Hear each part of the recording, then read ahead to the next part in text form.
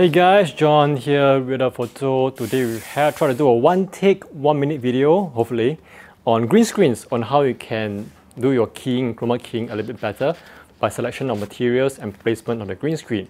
Behind me, I have a 2 meter tall green screen with roughly 1.5 meters wide, so you can fill me up completely.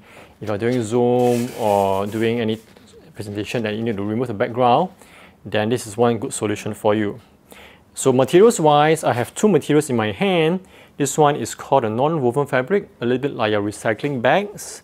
This is called Oxford material, Oxford cloth. So they're not really cloth, both I think plastic in nature. But non-woven is a little bit thinner and rougher, while the non-woven cloth is a little bit more opaque. So let me point some lights through it. So as you can see that the non-woven does a lot more light to go through, while the Oxford cloth is more opaque actually. So what does this mean?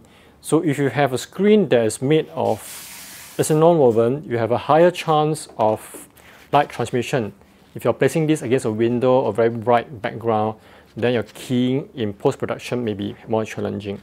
So if you can, try to put your green screen near to a wall, a solid dark wall, to reduce this kind of effect.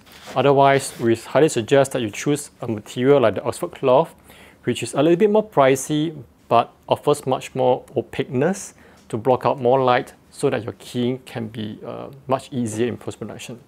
So there you have it. We have a few kinds of materials. Do let us know whether you like this kind of short videos. We'll see you soon again.